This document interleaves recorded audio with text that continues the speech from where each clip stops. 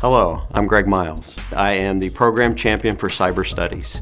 The three different undergraduate programs I oversee are the cybersecurity program, formerly known as the network security program, the technology forensics program, and the network engineering program. So as a program champion at UAT, we're responsible for uh, setting the direction of the curriculum, making uh, projections for what the future is going to look like within our different uh, program areas. Through that process, we've been able to come up with support from Department of Defense, uh, the National Security Agency. We are a designated center of academic excellence uh, through those programs. Got some help from the uh, Federal Bureau of Investigations in terms of designing our cyber warfare range that we uh, utilize on a day-to-day -day basis to instruct the students on network security and network engineering and doing the forensics work that we do.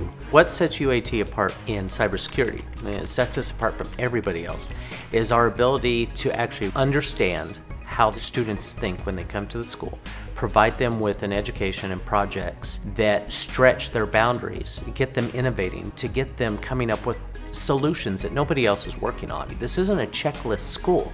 I'm not going through and trying to check off course after course after course.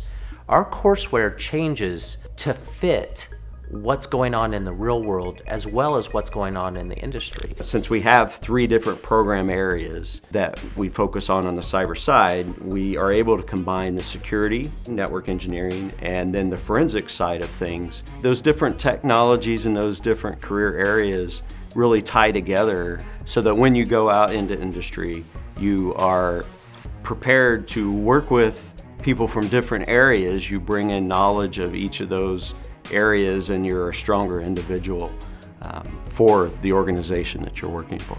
In our programs, um, we do student innovation projects. The students come up with ideas for either improving a technology or building a new technology. We're putting the students in a position to test their ability. I want you to write an exploit. I want you to figure out how to build a better firewall. I want you to figure out how to architect the most secure network you can possibly create. I want you to go to Black Hat and I want you to talk to these researchers. I want you to make relationships with the people that are making a difference today so that the day you graduate, you already have the connections.